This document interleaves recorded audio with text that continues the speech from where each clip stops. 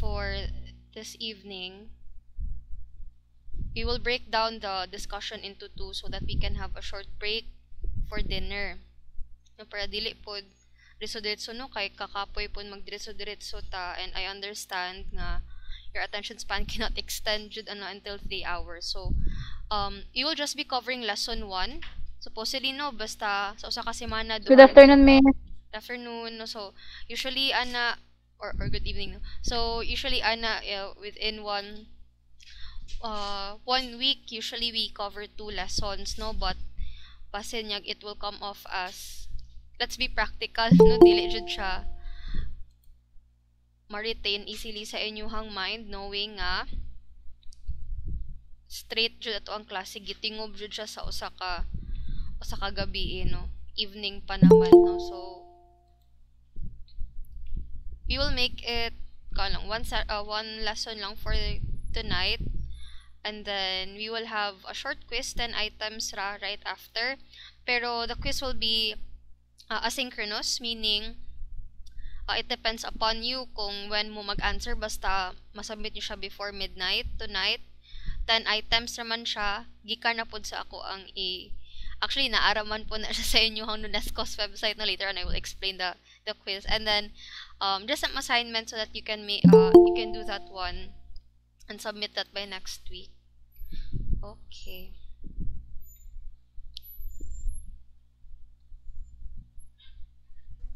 Good evening, Miss. Good evening. So I was thinking, no, siguro we can chop down our discussion to lesson and then activity, then lesson and activity, no, para dili pod every week magsigira ta og ano, banatay o klase. Okay. Uh, let me just share my screen first. We will start na our class.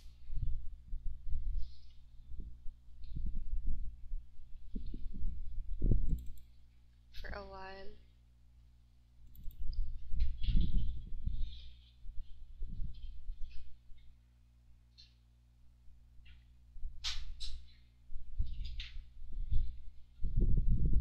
Okay.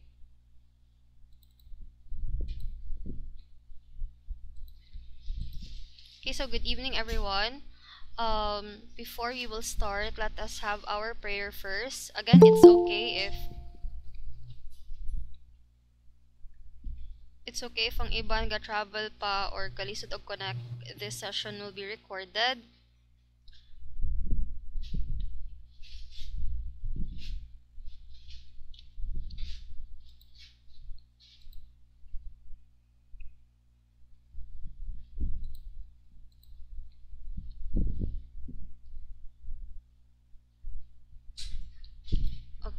Before to mag-start, let us pray first in the name of the Father, the Son, the Holy Spirit. Amen. So let us pray the prayer to Saint Rita. O glorious Saint Rita, you did share in a marvelous manner the sorrowful passion of our Lord Jesus Christ. Give me the grace to suffer in patience the miseries of this life, and be my refuge in all my necessities. Amen. Saint Rita, pray for us. In the name of the Father, the Son, the Holy Spirit. Amen. Okay, so good evening, everyone. So I understand Good evening. evening. So I understand it's it's raining there in in your respective homes or places wherever you are now. So again, if naay times nga maka-log out mo or mawala yung connection, don't worry. Just try to make sure if you can come back. If maglisod na jud, just kindly inform me so that I can also take note of that once we have our attendance checking. This session is recorded and a, a copy of this one will be uploaded in our Google Classroom as well as our PowerPoint. Now take note, whatever is in our PowerPoint is already a shortcut version of your module. In your module, you will not be, let's say, you'll not be answering actually the contents of your module na because this is not, it's not no longer an asynchronous uh, uh, class no not unless if absent ko no like sa uban nga sections I'll be absent sometime uh, this week because I have like an international research training so I won't be able to have a synchronous class. So dira pa na nga time nga they can answer the module. On your part if we have synchronous classes like this one nga magklase jud ta real time um you will not be answering the the kuan ha the questions in the module but rather it's just your copy para naamoy uh, basihan sa ako ang klase no? Because I'll be getting some of the lessons in the module man no? Created by no Nescos no and di ko pwede nga maghimo-himog ako ka because there's no book sa kaning ato ang session class. This is just merely a, a discussion of history. And also you know uh, the importance of local mindedness or things like that no? So you'll re- really be following the contents in the module. But you will not be answering that one. Um hatag mo kog separate activity. And also again basihan na na ninyo para na amoy full copy. Kay sa PowerPoint medyo gi, gi ra nako no gi chop chop ra nako siya para dili too too bulky for you. Okay?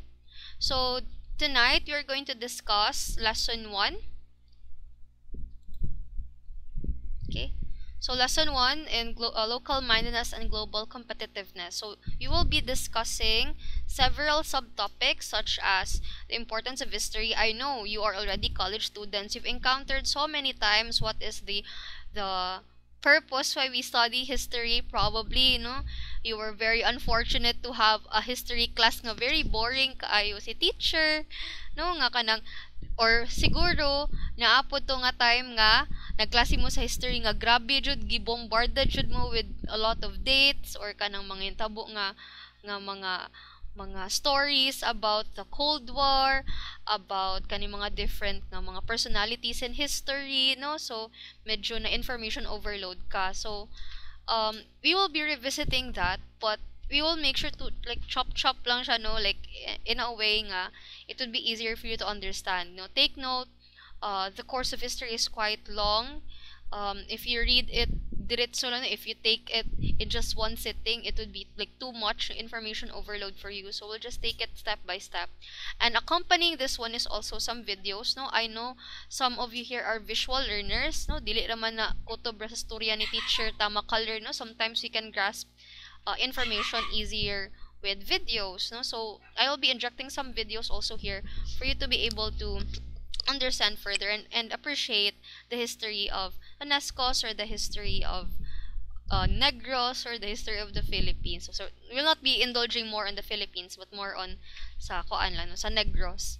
So, you'll start first with our vision and mission. Ngano importante man jud ni ang vision ug mission class. Now, ang vision ug mission class is one way of guiding kung sa business pa na siya, no, kay kita, di ba, as HM, na ang puti mga business subjects, no? Kung sa business po na siya class, it's one way of guiding the establishment. Like, what will we become after five years, no? Sa mga ang vision, if you want to be become one of the premier universities or premier business establishments in Negros Occidental, mo na to ang vision. But how do we get that vision? How do we become a premier let's say a, a premier business establishment or the number one nga nga institution no? Uh, state university or state college diri sa Negros Occidental or northern northern Negros Occidental. So syempre mo po na mosulod ang mission, di ba? So, ang mission is, what will you do to attain that vision? And it's very important in any other establishment class because it guides the establishment on what to do and what to attain. Like, kamo gani, as a student, you have your own vision and mission, di ba? And you have vision, right after aning mahuman ko 4 years, makakuha ko anang diploma, makatrabaho jud ko sa prestigious nga hotel, or mahimo kog hotel manager, or magto ko og cruise ship, Oh, that's your vision. But how can you attain that vision nga makatrabaho ka og ko nindot nga uh, nindot nga hotel, nindot nga cruise ship, then you'll have to make a mission. Like what will we do, no? How do we ensure nga we attain that? So dapat mag invest ba ka on skills training, dapat mo gamit ba ka og kanang technology, no, so that you can be globally competent, no? So, ang yan na po na, no? Kung sa tao na akay mong kagalingon nga goals and things to do on, in order for you to attain that goals, a university or an institution or even a business establishment, they have their own vision and mission goals as a uh, vision and mission as well. Okay, so for a mission to school, I know some of you already familiar with this one, but just a recap. Since we are learning about the profile of Nunescos first, before tamo proceed sa Sagay, then Magnagros Occidental, so ang mission ni Nunescos is mo envision siya og a skillful and productive manpower, qualified and competent professionals endowed with leadership qualities, commitment to public service, a common shared, shared values, and capacities to in- integrate and use new knowledge and skills in various vocations and professions to meet the challenges of the new millennium. So that is their mission.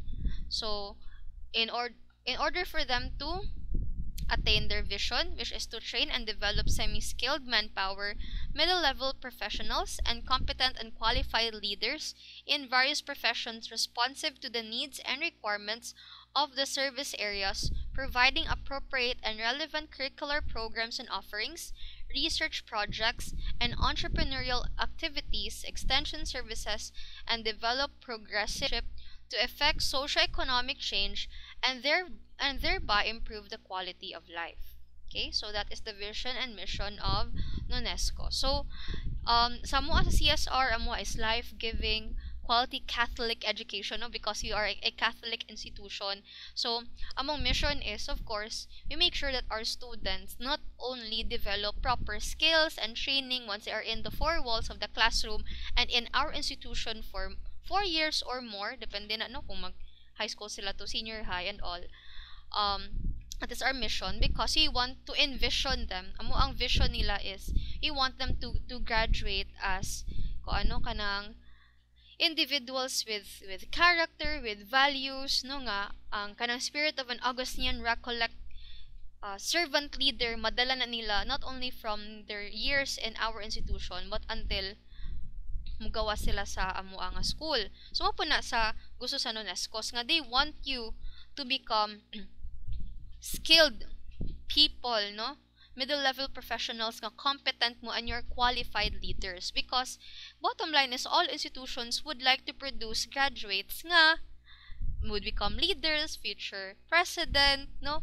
Or a leader in their company, no? Or a leader in their own business, nga competent sila nga they can compete globally. Okay? So, importante na siya class because again, we are talking about local mindedness and global competitiveness. In order for you to be globally competent, you have to have a vision, you have to have a mission, no? you have to have goals, di? So anyway, no? Um, these are all your institutional outcomes. I will not discuss that one further, but the, these can be found in your module 1 as well. Um, also, um, in your course syllabus no? Your institutional outcomes and program outcomes no? Kanang mga what is expected of you. So kanang institutional outcomes class okay yung program outcomes it, it is what is expected of you once you graduate from the school institutional and once you graduate from your program which is hospitality management. So, gusto nila mo graduate mo nga you are logical thinkers na may critical judgment, you have independent decision making. Kaya dati sa higher higher order thinking skill na eh. Kanang katunag kon ko class mo na siya ang metacognitive skill na higher thinking na na siya nga. Maski unsa pa na ilabay sa imuha nga situation you know how to make decisions. You know how to think critically. You know how to analyze. Unsa man akong i-provide nga solution ani nga problem No, so, di na ka magsalig pa sa imong manager, di na ka magsalig pa nga, mubasa pa ka mo, search pa ka sa Google sa buhaton because you know how to think. You know how to make decisions. And that is, kamo kay HM man mo students, no? You are bound to become managers someday in the hotel, in the cruise ship. Diba? So, importante ni siya nga life skill. Not only sa inyong work, but even in life. Diba? I've encountered so many students class nga they make poor life decisions nga up to the point nga they suffer. So, your institution would want you to become critical thinkers, independent decision makers, no? Logical thinkers. Okay? So, demonstrate mo necessary knowledge, exhibit necessary skills, dapat proactive mo or collaborative or active mo sa inyo nga studies or any other organizations. Okay? So, hindi mo magsigig reklamo no kung na mga, no, no, no, po yung mga mga organization apila no kapoy kaayo because actually makatabang jud siya ninyo class no and that is what no NESCOS is trying to also give you no kanang mga extracurricular activities they help you hone as a person nga holistic ang inyo nga growth di ba So, ano introduction pa lang to, no? So, that was just an introduction, no? Because, again, it's important to know about your school's profile. Nga, mag-skwila ta sa no, NESCOS, or mag-skwila ka masking asa nga institution class, or nakabalo ka unsay profile niya like vision mission unsay outcomes like unsa may mga skills nga ma-attain nimo once you graduate, di ba? Importante na siya as a student. Dili na pwede nga putabulag lang ta nga di aware kid sa university president, dili ta aware unsa tong vision mission, di ba? Dili ta aware sa atong alma mater him, dili ta aware sa ato ang uh, program outcomes, no? Dapat importante po na siya, okay?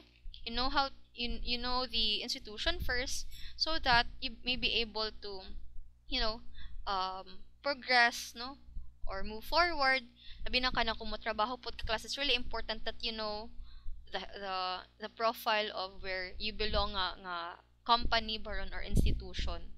Okay?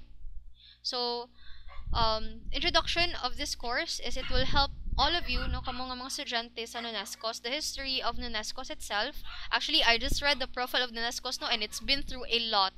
No, gikan, imagine, ang NUNESCOS, gikan lang siya sa, sa high school lang din nahimo siya og kanang murag consortium or extension branch sa Iloilo uh, State College of Fisheries no sa Iloilo jud ang main ana niya gihimo ra og branch ang ang NUNESCO's before di ba ISCOF siya sa una no uh, kuan siya for for uh, Iloilo State College for Fisheries ra siya sa una din karon nahimo siya gyang own identity na nga dili na siya part of ISCOF, di na siya part of Iloilo State uh, College of Fisheries, nahimo na siya NUNESCOS na for sagay na jud siya, di ba?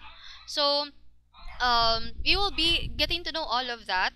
Although it is already found in the in the school's website, no, very thorough and detailed history of NUNESCOS. We will just be taking it kanang actually chop chop para dili kayo bulky, no? Kato mga i-highlight na tong importante nga events class para dili ta overwhelm tag si mo tagbaw na pud mo makatulgon niya tano kay later parts para bata mo discuss ana ko ato jung ta sa tagsaon siguro kana lang mga important details how NUNESCOS came to be from a high school lang ordinary kaayo to branch ni Iloilo State College of Fisheries down to NUNESCOS itself until current it's still standing and even expanding no several na nga mga programs no and one of the leading uh, state colleges no for nursing, 'di ba? In in Northern Negros, no?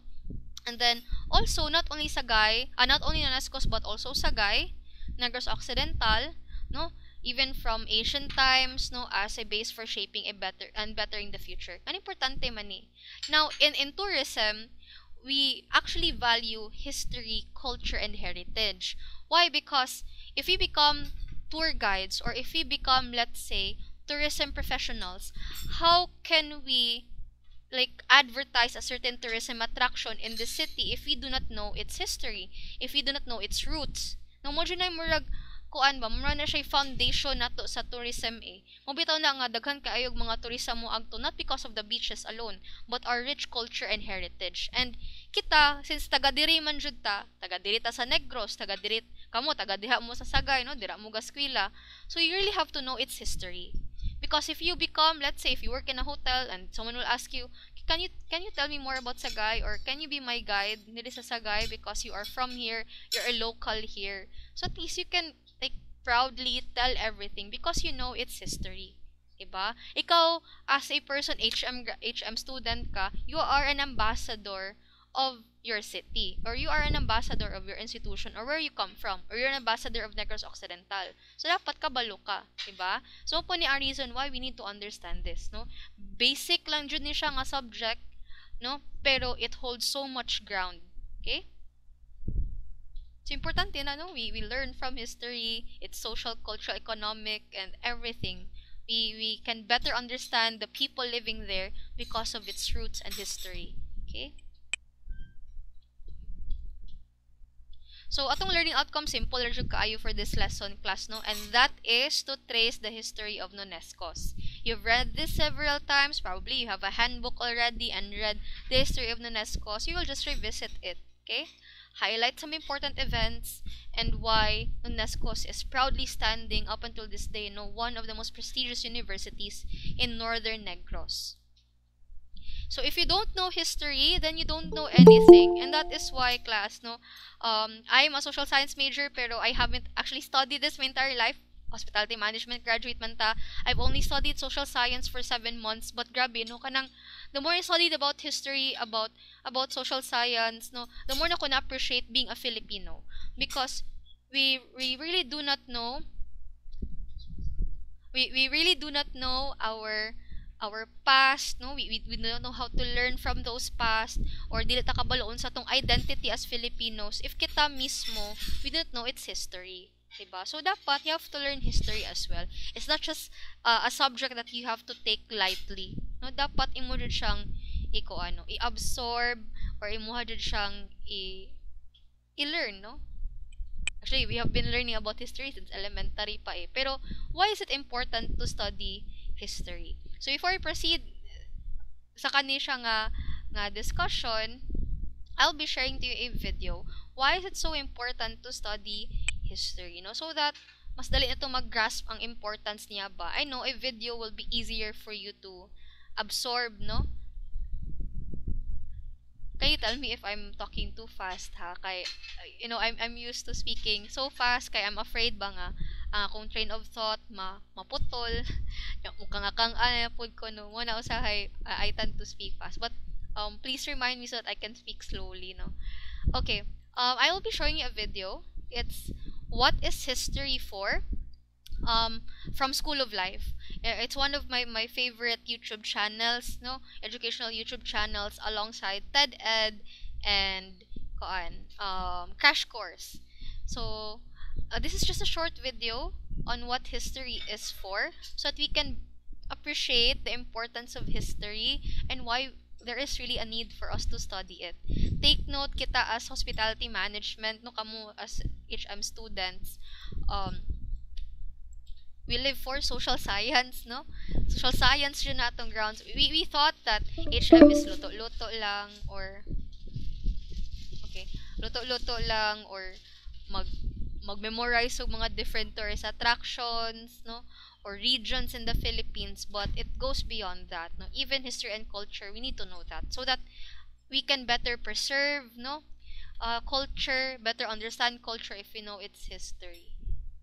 Ako sang i-share ang taba. Actually, ka, adlib-adlib ko ron kay I'm trying to share my my okay.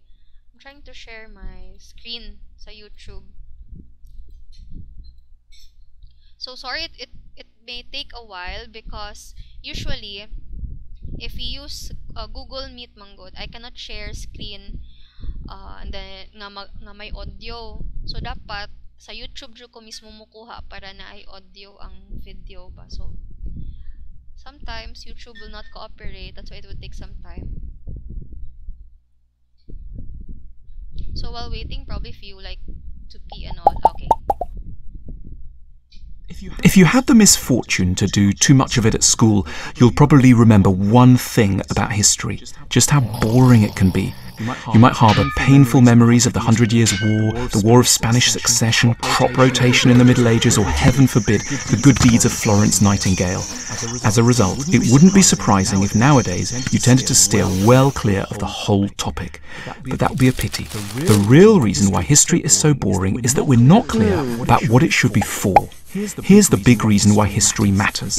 It matters because it can provide us with solutions to many of the problems of the present. At its best, history is there to introduce us to some of the things we need, but that aren't sufficiently visible in the world today. As a society, we're very obsessed by what we're up to right now. Unknowingly, we're hugely biased towards the present. The news, which is about the most prestigious force in the world today, circles obsessively around some of the things that have happened in the last five minutes. And yet, many of the most important things that we need to nourish, sustain, and inspire us are a lot older.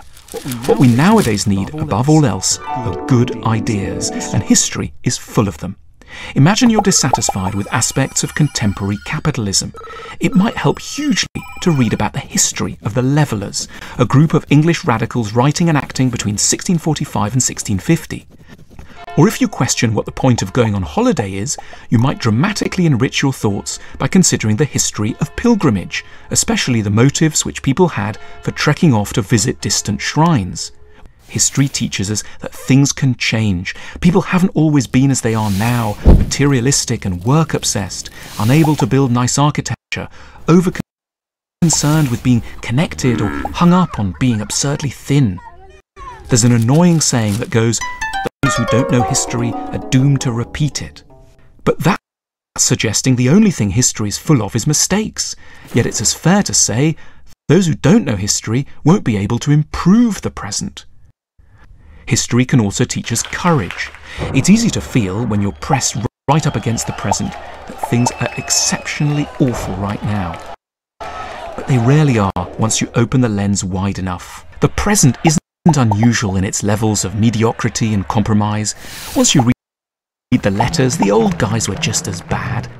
And though our challenges are of course great, they aren't exceptional when compared with, say, those facing the survivors of the sack of Rome or the Lisbon earthquake.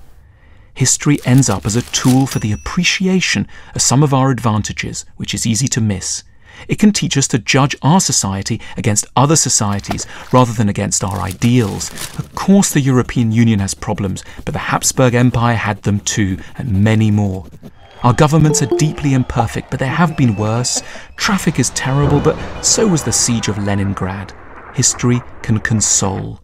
Getting clearer about what history is for should change how the subject is taught. In the future, we should treat history a bit like a doctor treats a medicine cabinet. Before diving into history, we'd first have to work out what was wrong with us, what we were lacking in the here and now. We might be diagnosed for a lack of courage or a spoilt nature or a hesitation about whether to marry, hmm. and we should be prescribed history accordingly. For their part, historians themselves should get clearer about what problems in the present they're trying to solve. They should explicitly aim to tell us things about the past that can help us with issues of today. Not the past for its sake, but the past for our sakes. Good history should always mean history with solutions or consolations for today. Now that could be interesting.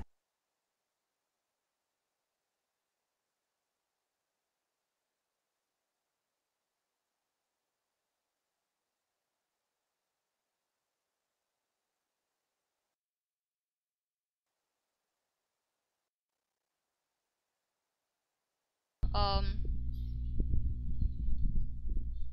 we've actually seen the import uh, the importance of history is that it's more of a prevention. A prevention. So it's more of a prevention of things that will go awry in the future or for example no, it can help improve the future. Mangani no if, if we learn about the history of things as well as you know if things did happen nga medyo maot ang natabo sa past no?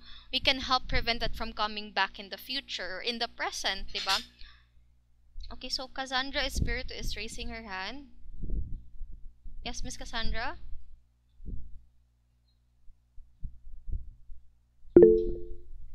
You have a concern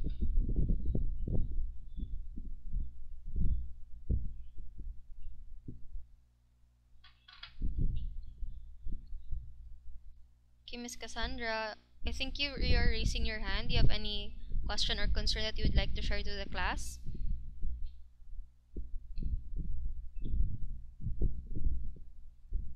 Okay, kasi natuplakan lang ni Miss Cassandra, no? Okay. Sorry, kay galag ako.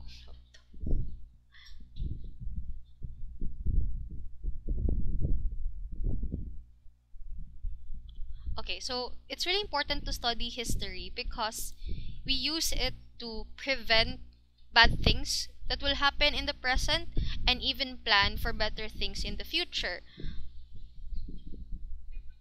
And sometimes, be a class, no, when, when we learn about history, sometimes we, we are not aware that we're already doing it, no?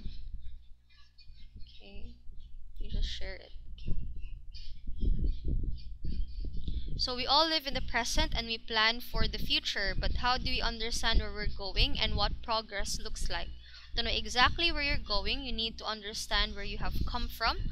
For that, you need an appreciation of history. And that is true, no? Um, take for example a doctor.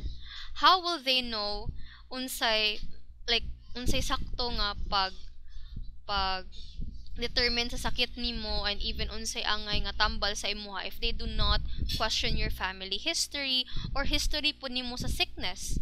Like how can you how can they accurately determine what kind of sickness you have what kind of medicine you will take? If dili sila mo na like what have you eaten how have you felt in the past like ning ning reoccur na ba ni siya ang kanimuhang sakit or bag-o lang ni siya nahitabo?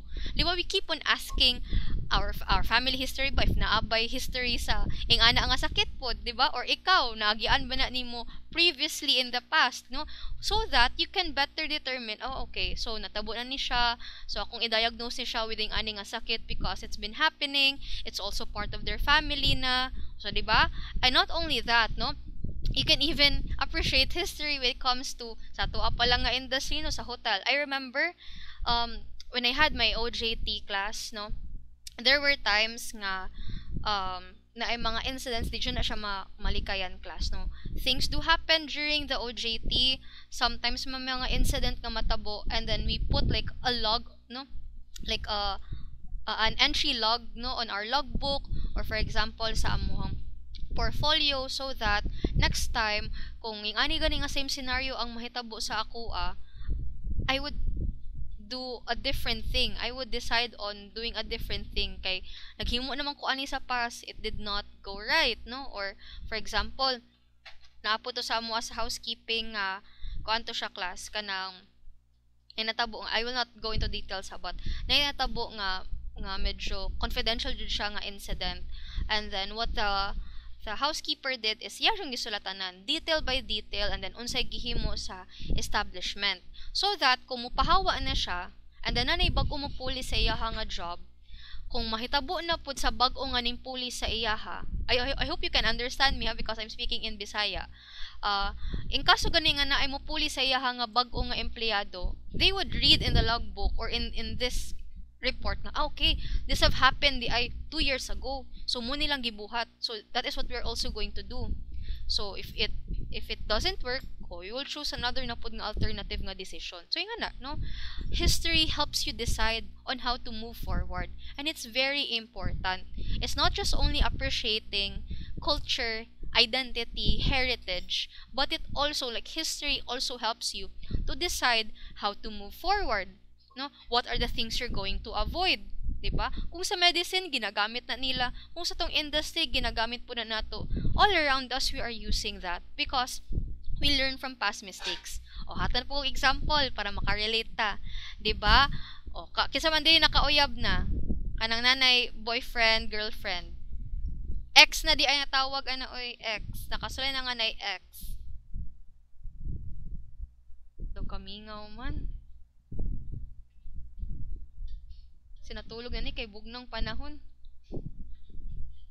Kisa na diri ang nakasulay nga na ay X or ang ba na ulaw lang siya guro no kay first day. Ako miss, ako miss.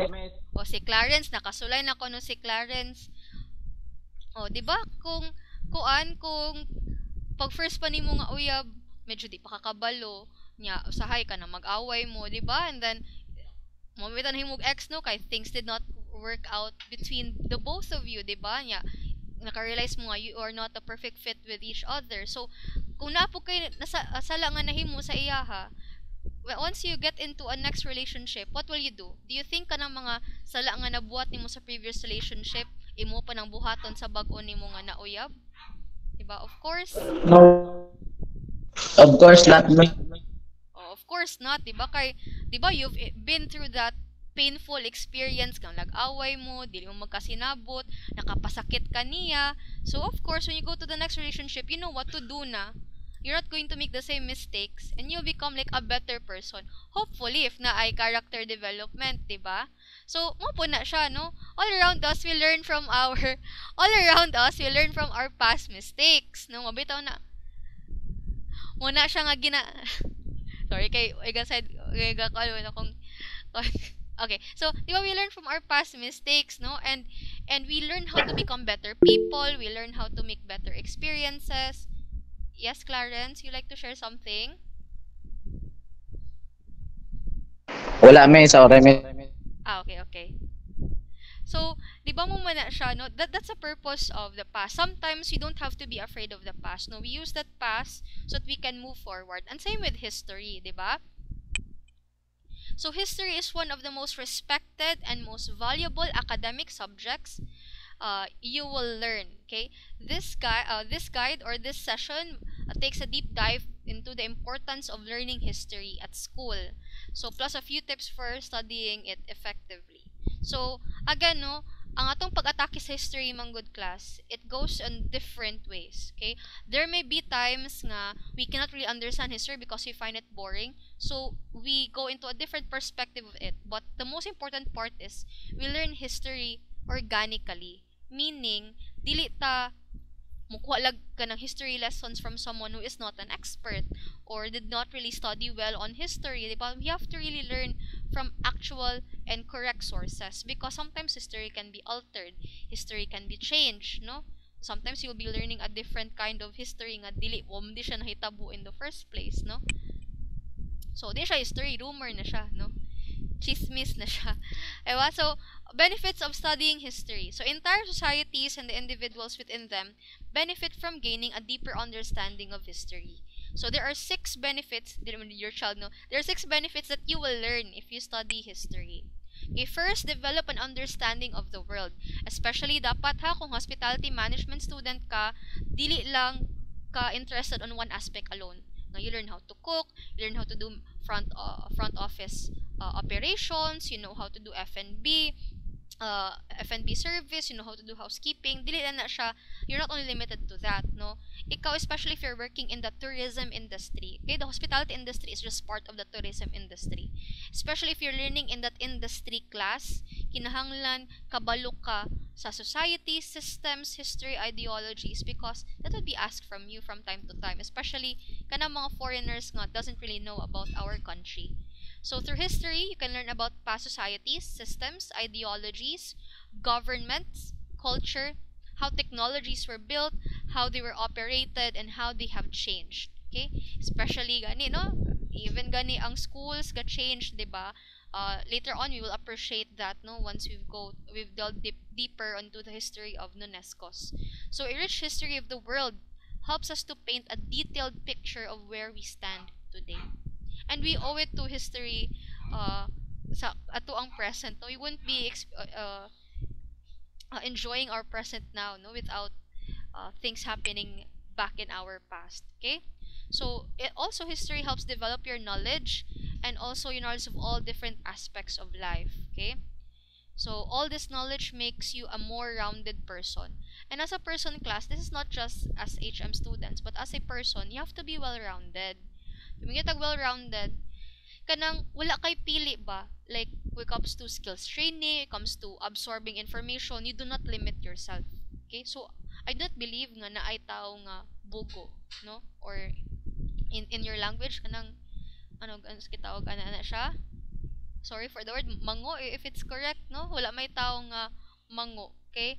Siguro they just limit themselves. Napoy uban nga medyo slow lang do dilang pace, dili pareha sa uban nga fast learner and that is okay no? We learn at our own pace na may uban nga fast learner na uban nga slow but at least you are learning. Pero as a well-rounded person class you do not have to limit yourself. You have to embrace everything no? Dapat kabalo ka tanan okay? Mapaka academics man or skills dapat you know everything because that will help you prepare for real life. Okay, so second, history becomes, again, like what I've said, a more rounded person. So history is full of stories. Some are inspiring and others uplifting. Ang uban pod, chaotic and immoral. History is not all rainbows and butterflies, class, no? There are also dark past and dark areas in history. One example of that is, of course, martial law eh, here in the Philippines, no? Or different ka ng mga massacre nga nahitabo sa to ang country. Okay? Not only that, abroad, you have also kanang natabo sa time ni Hitler, no? Ang World War 1 and 2. Okay, Cold War. Although Cold War, uh, Civil War, apil po na siya, no? Uh, the apartheid, no? Kanang mga segregation of black Americans and white Americans. That is the very dark part of history. But we need to understand that so that we can better appreciate the present like di dapat niya to i-disregard nga. There were some injustices nga natabo no sa una like para sa nang sa tuang mga uh, brothers and sisters in Africa nga they were enslaved they were sold as like cattle no nga they were not given basic human rights di ba? We study history not just for ins- inspiration or in times of joy but we even also study in history in times of suffering so that we can learn from these experiences nila we can better appreciate life and be thankful for our life and also um you know give some respect to like how how will we give respect sa usa ka uh, like let's say for example no you've met a, a black american person and then kanang if you're not aware of their dark history wala ka ka kakuan ang imo ding actions is offensive na sa ilaha. Di ba sometimes we make actions nga dili na nice pud sa ilaha because we, we did not know about their past or we're unaware unsa jud ang ilahang naagian di ba so once we know about their past and all of the sufferings that they've been through all the injustices nga they were not given any basic human rights no? Simple ana nga example is Rosa Parks nga gipapahawa siya sa bus kay tungod of her color like gisegregate man ang bus ang nasa likod ang mga itom ang nasa tubangan mga Amerikano. Unya nay Amerikano nga papahawaon siya kay siya mo pulis siyang bangko. Niya siya nanagod siya dito. Gusto siya mulingkod dira di ba? Kana basic human right lang na niya nga mulingkod sa sa kana nga bus. Gipriso pa siya di ba? So if we say something offensive sa usa ka tawo uh, they have the right to react that way no? Because kuan po na siya class kanang they have been through so much no sa ilang history mao ni siya natabo sa ilaha. So ikaw nga wala ka kasabot nga no nasuko man siya nga gingnan ako siya ging ani nga word. Nga wala ka kabalo racial slur na di ay to. Para sa nang na ko kuan friend mo nga hala ka itom niya no negro kay siya mo kay siya gnaw nya o ikaw ba di ka aware sa past sa mga black Americans nga they've been sold as slaves and they they have been treated injustly kay tungod sa ilang skin color nga ginakutsa sila kay tungod sa ilang physical appearance di ba? Wala, wala ka kakuan nga imo ding gisulti offensive di ay di ba? Nga la nag-tracing back sa ilahang kaagi sa una nga dili po di ay lalim di ba? So grabe ang ilahang gibuhat in order to be emancipated okay So history also encourages a deeper understanding of difference. There are lessons, both good and bad, and you have to learn from the way of our ancestors. Dili pwede class nga only the good times to ang basahon. You have to also appreciate the bad times in the past because it helps understand ba nga, okay, mo rin natabo, let's just hope di na siya mabalik again. One example of that is Germany. 'Di ba? I know some of you are already aware of what Hitler did to the Jews, no? O katong mga concentration camps nga ginapatay nila, no, gamit ang kanang mga gases, no? There are children, very young children on those concentration camps that, were not fed, wala sila gipakaon og tarong, no nga gi, gipaligo sila kanang kanang acid nga kanang slowly that is killing them. Uh, later on I will show you a picture of of a person from a concentration camp, no. Um the Germans have to learn about that history. Kay, of course, mo man binuhatan sa ilaha nga mga tao years before, no, during World War II. So, kinahanglan na nila mabalaan sa ilahang klase. Mo na ginatudlo na ang anak ng mga injustices. Although sakit eh kay eh, kuan biya, German ka and you, you are learning about these things nga you were the bad guys in in World War II but you have to learn that so that in the future ma-avoid na siya. Ngayon kaso nga na ay person nga ing ana nga nga very charismatic pero dictator siya, ma-avoid na nga matabo na siya balik. Nga you will not be doomed to repeating the same past again in the future. 'Di ba? Mo nang ginabuhat nila. Siguro other other countries are not so welcoming when it comes to that. Like you have countries like Japan nga in their history they seem to distort it nga they are not so open when it comes to all the injustices that they did during World War II So medyo medyo ginapili ra ang ilahang mga history classes, 'di ba? Here in the Philippines, there is a constant war be- between history revisionism, no? Nga sometimes 'di ba kita we get information from social media, we do, we are not sure if that is the correct gani nga history, nga version of history, 'di ba? Kay ang uban ginatago nila ang bad parts of history eh so that dili siya ma- mabalik, dili makamata ang mga tao. But we have to learn that. We have to really learn all the good and bad lessons, all the good and all the suffering, all the times of joy, so that we can learn from that past, we can avoid that from happening again. Okay? And Germany is doing that. Okay? Naga na sila ka ng mga kuan nito class, na sila yung area nga that is dedicated sa mga Jews and people who died during World War II, no? So mga pangalan nila. Mara pagparya sa martial law nga wall ba nga katong mga victims sa martial law, mara siya ka ng memorial ana nila no. So muna no, it's really important. No, dili man ta dapat mag magpabulag-bulagan ana because um that happened, no? And then like what I've said, 'di ba? How can we progress? How can we better pla- pla- plan for the future if you don't learn from the past. Sige ko balik-balik ana no but kanang kung imo if you think about it, that is our way of life, truth. Okay? So next is tapos kay ko na tapos kay istorya no for koan lang um for number 2 pa lang to. So number 3, understand identity. So not only ang kanang mga past nga nahitabo class but also your identity like us as Filipinos, no kani mga especially sa kanang mga indigenous communities, 'di ba? Naatay mga stories and legends from sinauna pang panahon. If we learn about that, the more that we preserve and the more that we appreciate that kind of of history and culture nato. So nations are made up of a collection of stories and legends. These stories shape the way we think about our country and our standing within it. History is where we learn about our great institutions, how great institutions are formed, and how they contributed to where we are today. For many of us, looking back at incredible fellow countrymen is a way of establishing our own identity. Finding who we are and what mark we can make on the world is a huge part of our childhood. Okay, so one example is learning about the sacrifices of our national heroes like Andres Bonifacio, Jose Rizal, and many other martyrs who died for our country. Looking back, if you look at all of their sacrifices, kita as Filipinos makaingon po ta, nana, ila ganitong na-overcome, nagian nila tanan for the sake of our country, for us to be free. So, kanang if makaya nila makaya po na to di ba? And that is our identity as Filipinos. We are brave no? Uh, kuanta kanang we are courageous or or we we are sa tawag na resol- resourceful and smart no? Di ba? So uh, history also helps us understand our identity. Looking back who are those people how they contributed to our present and how we can learn from those people as well. Okay? Become inspired uh, those historical stories can also serve those inspire uh, serve to inspire individuals to greatness. History remembers brilliant people and their heroic acts that have changed the shape of nations.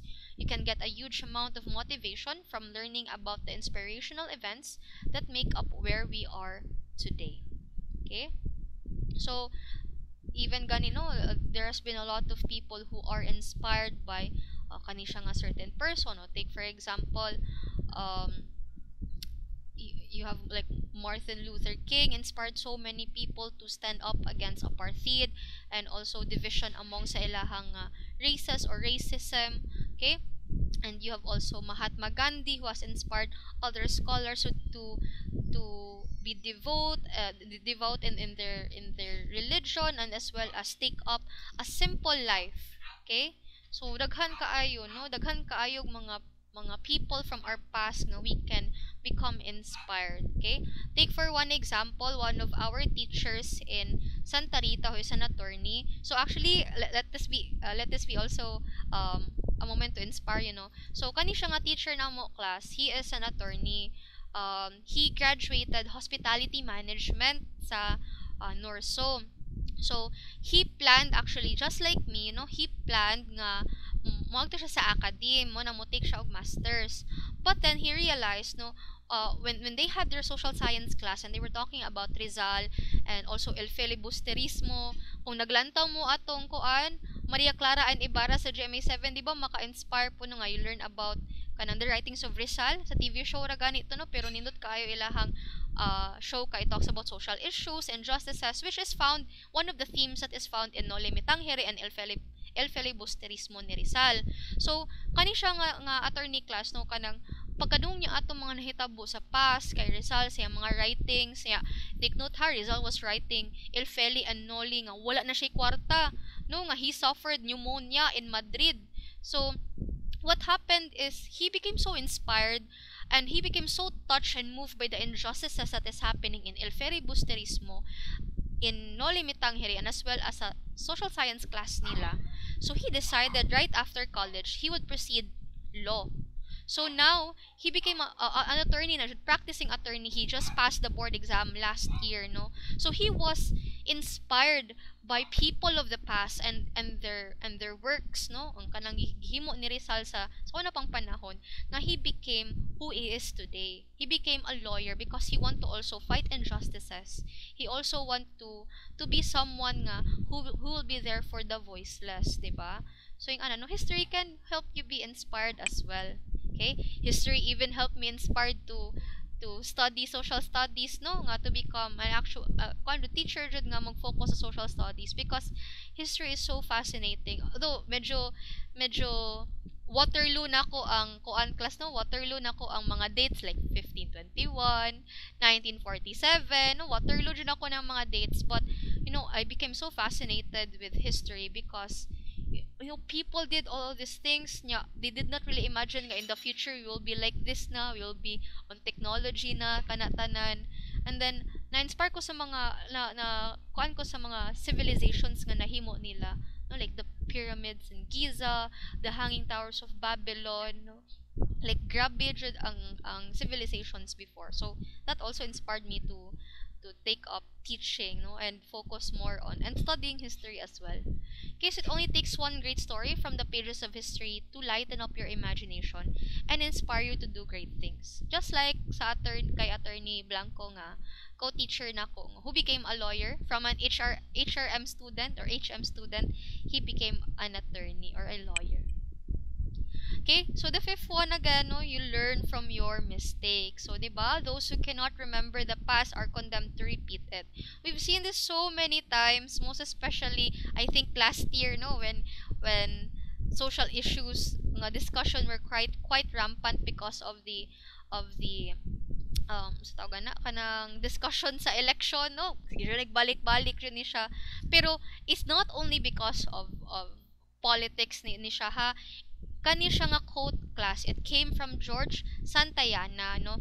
Um basically he, he is an historian. Nya he mentioned this quote because he has been studying history his whole life and it has become his quote has become one of academia's most cited and paraphrased lines. Ginagamit yun ni siya. No, and that's why this is the perfect explanation why we need to study history. We need to study history so that we cannot repeat the mistakes of the past so that we can better prepare for the future. Just like what happened with Germany when they taught about concentration camps, about injustices nga nitabo sa ilahang sa time to sa World War II, no? So gi- gibuhatan nila so that that will not happen anymore in the present. Okay? So the past is filled with warning signs. I'll give you one example. Um I know you've heard about Machiavelli so many times because it has been mentioned last year. Um, na misquoted ni si Machiavelli, no? Um, Machiavelli wrote The Prince and for you, kung ikaw, if you are not a person with an open mind, kung mabasa ka sa sa uh, The Prince ni Machiavelli. Katugong the ends does not justify the means kanang mga ingana nga nga quote ni Machiavelli nga di ba kung ikaw magbasa ka feel nimo kanang kuan feel nimo nga kani is it's okay to embrace dic- a dictatorship nga okay na if nakay dictator nga leader like Hitler no? Um dili siya ing ana no? Machiavelli wrote that as a sarcasm to a warning sign if societies will adopt that kind of government, that kind of pagmam- pamamahala. Okay? So, he wrote that, and then, katulad yung people with open minds can really understand the themes, the key tones in his uh, in his work nga The Prince. Okay? So, karon na pa mga arguments ana no about Machiavelli, kung sa diyahang gimin ani kung ga-promote ba siya dictatorship nga leader like Hitler or kuan ba ka is it a warning for the future pero if you delve into it if you read the entire Machiavelli jud nga ma- manuscript niya sa The Prince uh it's more of a warning sign no So we must be able to reflect on the events that helped build them. We have to learn from our mistakes. No, 'di ba? Magamit man ito na no from our from relationship man or sa medicine man, even in life. Diba, I know in the past you've made grave mistakes. Nahitabo na na nga nakasala mo. And 'di ba, you were at your lowest point na jud nga nakasala mo, maybe sa inyong mga ginikanan, sa inyong maestra, sa iyong pamilya. But what did you do? 'Di ba, you ri- rise up and then you move forward and then you've learned from that past mistake. And you told yourself nga, ah, din ako ni siya buhaton kay basta makasakit ako ko laing person, 'di ba? So, mo na siya. Ang history is like that, no? So, mo ni siyang mga examples. This is uh, a person from a concentration camp. Look how thin they are, no? So, uh, you can just zoom your screen. Pwede man ninyo na ma-pinch ang kanang screen ako, no? Para makita ninyo na. Okay, pinch na, na ninyo. Um, these are some people in the concentration camps. Try to watch The Boy in the Striped Pajamas. Uh, that's one, uh, actually, it's based on a book. Pero kuan na siya class kanang it's based on the experiences of people in concentration camps nga they were mistreated and of oh, sila pakanon usahay patindugon sila for lang hours. If na ay makaikyas nila og usa from their batch. Kay kada balay naman na batch batch ang kana nga camp. If na ay makaikyas nga usa patindugo na siya pila ka oras until, until na ay makatug-an kinsay ning tabang nga makaikyas ni siya or maka or, or naay muka ma, makatugan nga asa ni siya nagtago di ba? So mo ni si Hitler no? Mo na gina, gina discuss na siya sa history class sa Germany. So that ma-avoid na nila nga nga ingana nga ingana nga mga insidento personally mga ingani uh, katong I try to search uh, Manila Film Center. Uh, there were 169 people that were buried alive So I will now be lowering lowering down my tone no because this is not uh, a very nice thing to discuss with class no. History is very dark it's painful. This happened to our fellow Filipinos no sa time nila ni Imelda Marcos nga na kuan siya na, na buried sila in cement. 169 people buried within the Manila Film Center. And hangtod karon dili siya magamit kay again no it's reported to be haunted. Why? Because kuan kas kanang they they make use of kanang mga subpar materials lang ipadali-dali pa jud to.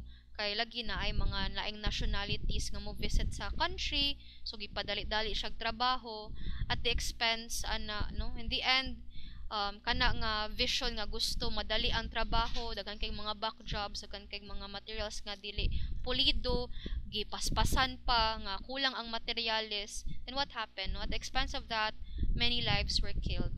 And these are actual photos no of victims. And mom di ko ginan mo lantaw ana but we have to. We have to open our eyes because that's that's the that's the harsh reality and uh, as nasty or as maot as it is no but this did happen.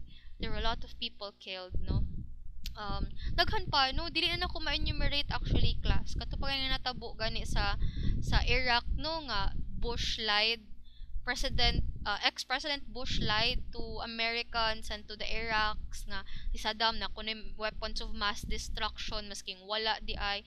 And imagine so many lives spent no just because of an ambition. So history is difficult it is painful sometimes it, it does not look good, but we have to open our eyes. Okay? How can we really appreciate um, what we have now if if we do not look back at the past and and remember those people who suffered? Okay? Kaya nga no, why are we living comfortably right now? Because people have realized, people have have thought to themselves nga, tama na, no? Tama na ning mga nga injustices. So, stop na. So we would we would stop all of this war, kani nga conflict tanan and we would avoid this kay para muna no malikayan ang mahitabo nga mga ingani. Okay?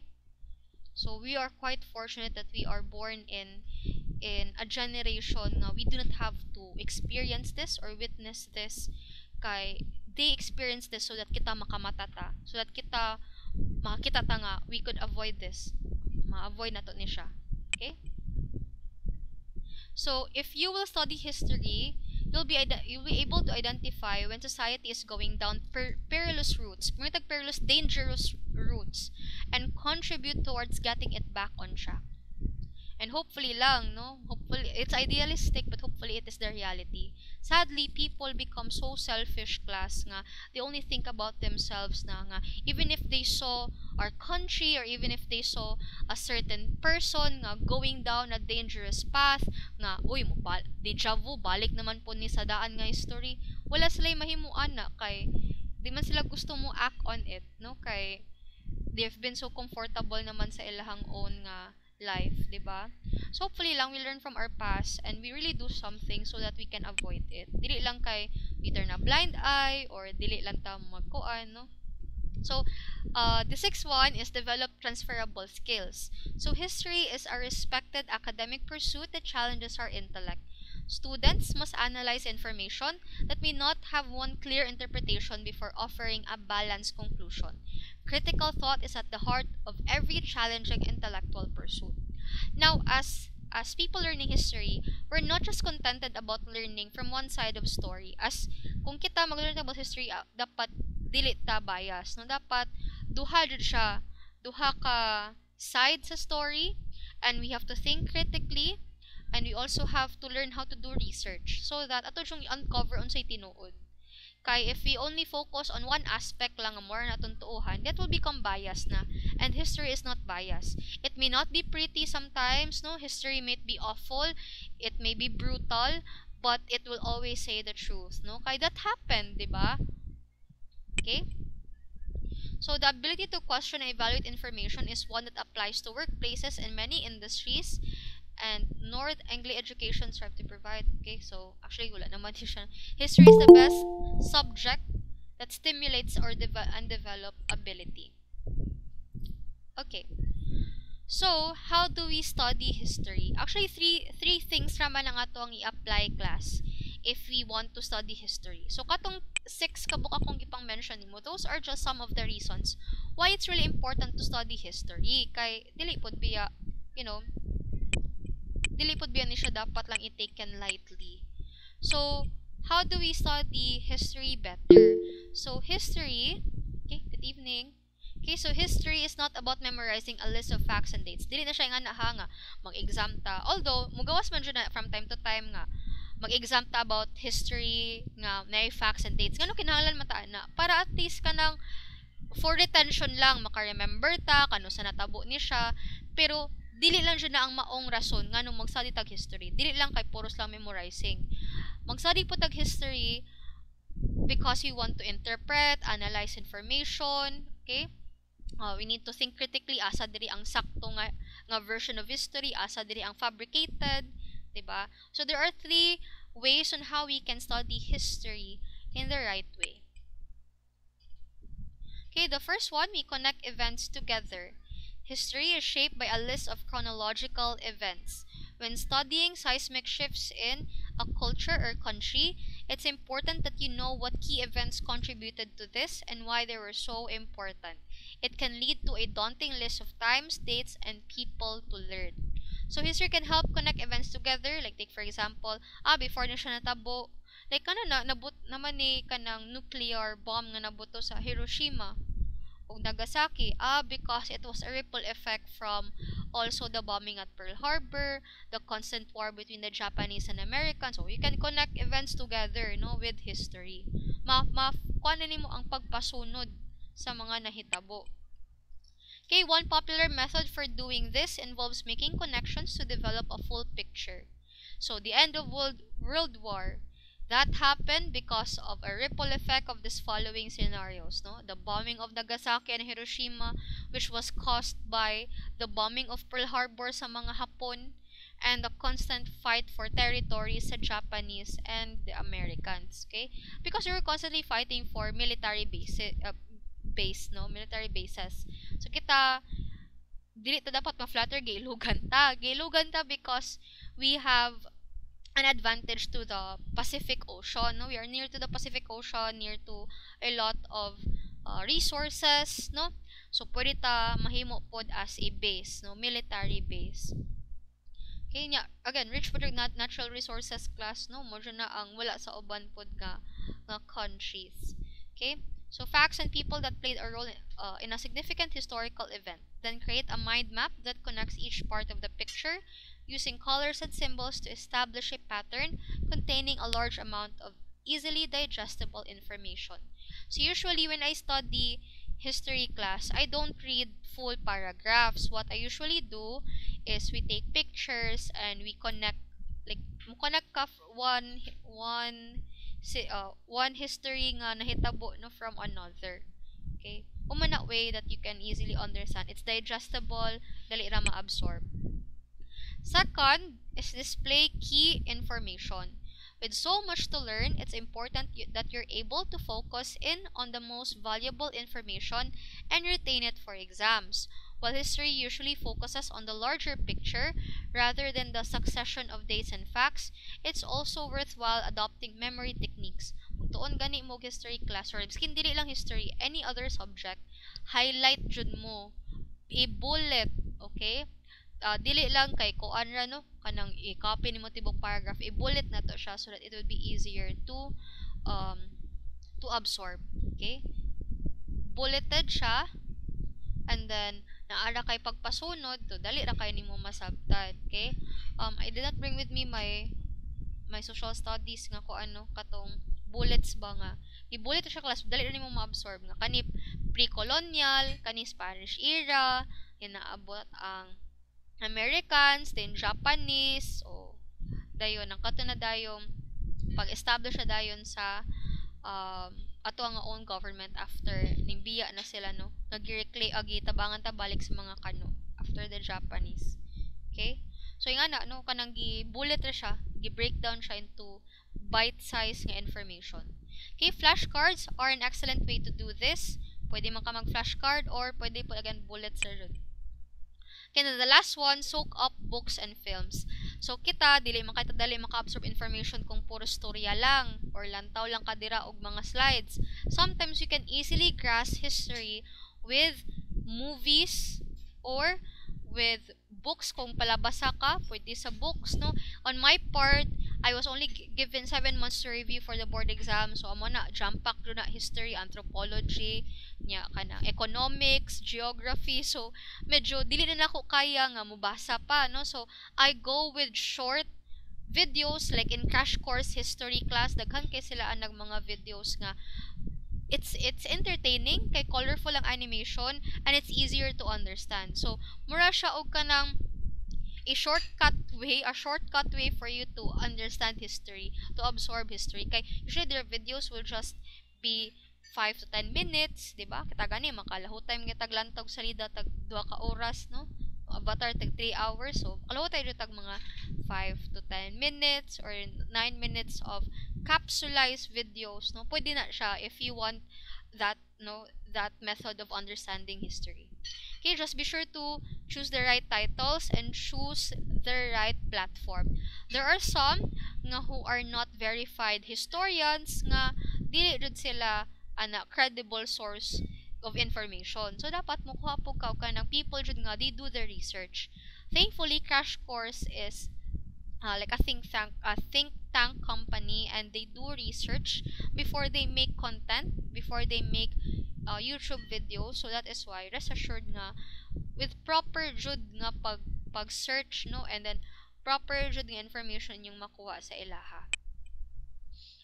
Okay so before it's only 7 no? Medyo gipang kuan na gipanggutom na mo. So we will be having a short break um, if you want, pwede mo ka stay dire sa Google Meet room. Pero kung magtipid mo sa inyong data, pwede ra mo mo out. Basta make sure that you come back because I will not check the attendance not unless it's the end of the class. So you'll be discussing the history of Nunescos after a break of 15 minutes. So, sa kuha nga time, it's 7.10.